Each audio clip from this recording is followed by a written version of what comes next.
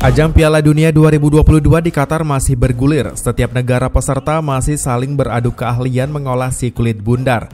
Euforia dan keseruan Piala Dunia sudah terasa sejak mulai babak penyisihan grup. Seperti yang terjadi tadi malam, tim Orange Belanda berhasil memuncaki grup A setelah mengalahkan Senegal dengan skor 2-0.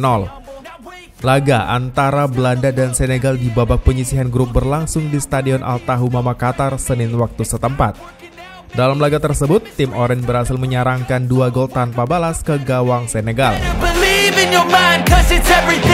Kemenangan ini menjadikan Belanda berada di puncak grup A setelah menggeser Ekuador yang berhasil mengalahkan tuan rumah Qatar pada laga pembukaan.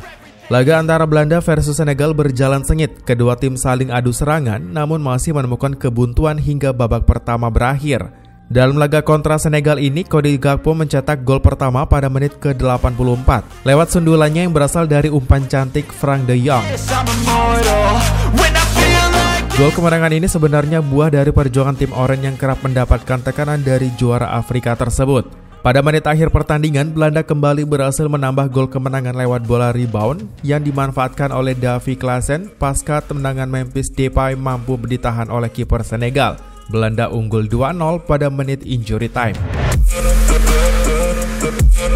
Saat ini Belanda berada di puncak klasemen grup A dengan perolehan 3 poin diikuti Ekuador di posisi kedua dengan nilai poin yang sama.